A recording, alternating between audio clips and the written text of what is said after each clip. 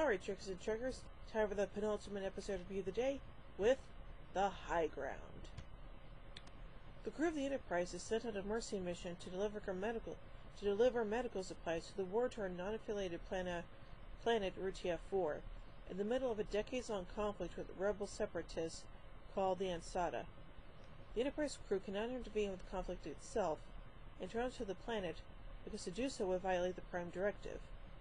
While Chief Medical Officer Dr. Crusher, Commander Data, and Lieutenant Worf relax in a cafe, a bomb goes off in a public plaza, injuring many bystanders. Picard attempts to the wounded bodies against Captain Picard's suggestion to return to the ship, but her efforts are interrupted when she is abducted by a man using an unknown method of teleportation. After being denied the use of the Enterprise's superior firepower to seek and destroy the Ansata's base of operations, Alexandra Devos, the head of Rutian security, orders severe interrogation of all known Ansata sympathizers, an act, an act that, that the Enterprise crew find immoral. Without new information from Devos, the, from Devos, the Enterprise crew investigate the teleportation technology and find that it is used to shift between dimensions, allowing the Ansata rebels to surpass even force fields. The investigative team, which includes Wesley, lets Picard know that they need to observe more of the teleportations to be able to pinpoint the location of the base. At the Ansata base, Crusher learns her abductor is Kyril Finn, the leader of Ansata. Crusher refuses to eat or otherwise cooperate with Finn. After several hours, Finn lets Crusher out of her restraints and requests that she help treat their wounded. Crusher discovers that the inverters, the Ansata teleportation technology, causes irreversible damage to the user's DNA, that many of Ansata's sick are due to excessive use of the inverter. Finn admits that the inverter is their only advantage against the Rutian government. After more hours pass, Finn believes that the Federation, by providing medical aid, is working with the Rutian government and launches an attack on the Enterprise, despite Crusher's request to avoid harming her son. The Ansata manage to plant a bomb on the Enterprise warp engine. It's quickly transported into space by LaForge, but the distraction is enough to allow Finn to appear on the bridge and abduct Captain Picard.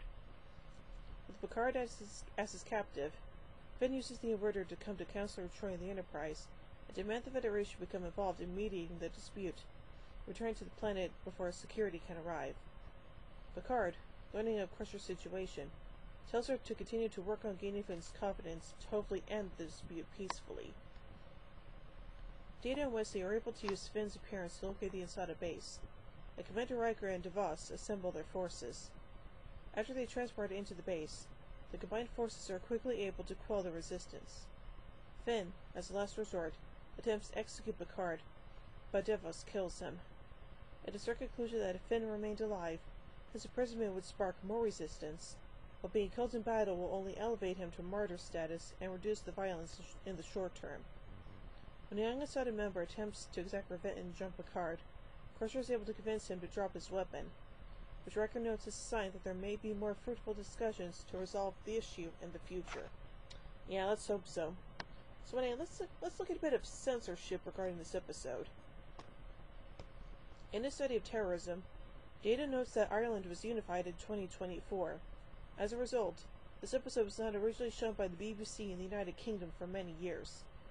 It was not broadcast in the Republic of Ireland by the Star Trek's rights by Star Trek rights holder, RTE, during the program's run on that channel. The UK broadcasts were received there.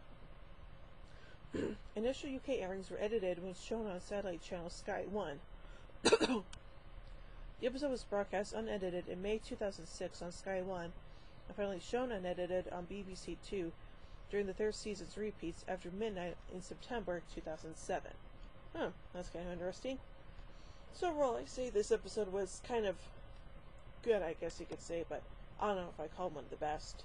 So overall, I give The High Ground three warp cores out of five.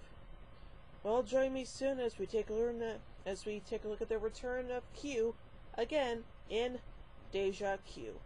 So until then, live long and prosper, everybody.